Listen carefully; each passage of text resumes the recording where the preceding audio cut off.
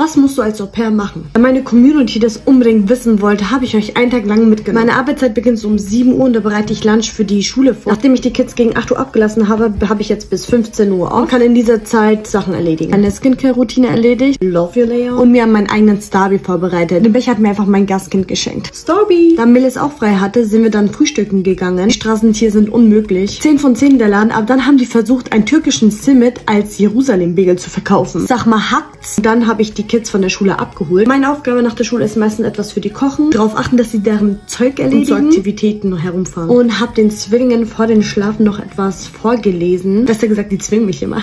Das ist so mein typischer Alltag und ich muss schon sagen, ich fühle mich wie eine Mama.